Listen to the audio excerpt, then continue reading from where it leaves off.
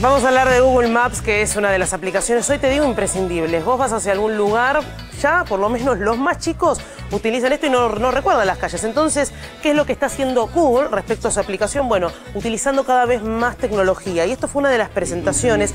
Google presentó una batería de herramientas entre inteligencia artificial, modalidades 3D, realidad aumentada, que fue, les digo, algo eh, innovador, además de haber presentado a BAR como la competencia de ChatGPT. Pero en este caso de Google Maps, lo que están haciendo dentro de esta conferencia, te están mostrando dos herramientas que van a empezar a utilizar, o que vos vas a empezar a utilizar. Una es 3D, es decir, lo que están buscando los ingenieros de Google es que la experiencia sea cada vez más inmersiva. Cuando vos estés dentro de la aplicación, hagas de cuenta que estás en la calle. Ya lo habíamos visto en su momento con Street View, pero están haciendo un pasito cada vez más porque esto lo vas a tener dentro del celular no solamente las imágenes 3D, sino también la realidad aumentada. Vos vas a poder estar en el momento, en el lugar donde buscas la calle y vas a poder ver lo que está pasando o en real time lo que está pasando dentro de ese lugar. Es decir, casi que te estás metiendo en el lugar sin estarlo y además buscando la dirección a la que estás. Bueno, también va a haber búsquedas personalizadas. Este fue un poco la batería de herramientas que presentaron, pero